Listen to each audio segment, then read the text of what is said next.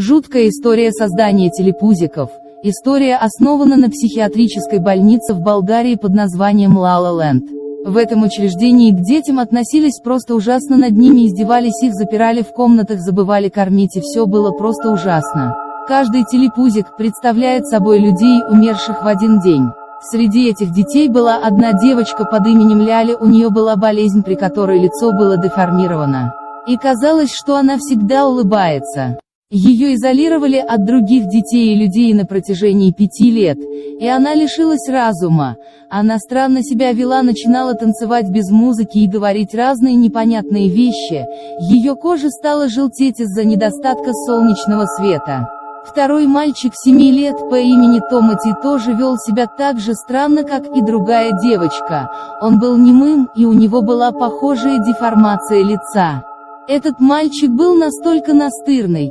Он бился головой об стенку до тех пор, когда один кирпич просто не сломался. И за это его привязали и оставили на улице. Из-за того, что он часто сидел на улице зимой, он стал синеть. Так и появился герой Тинки Винки.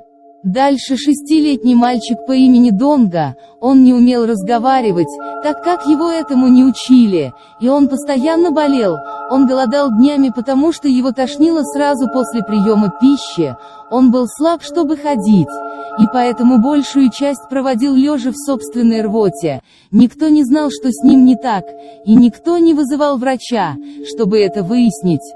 Донга стал вдохновением для героя Дипси. Последней была девочка по имени Полина, которая всю жизнь провела в этой больнице.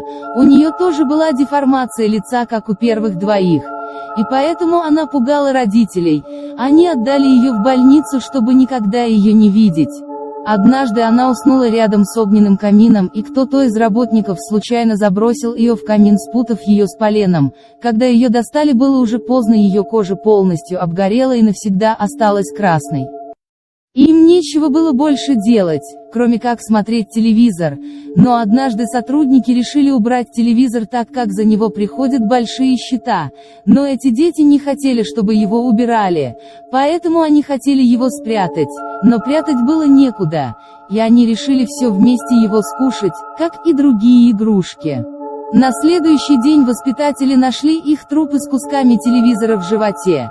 Все их внутренности валялись на полу, а вокруг летали мухи, но они продолжали улыбаться. Отсюда и название телепузики.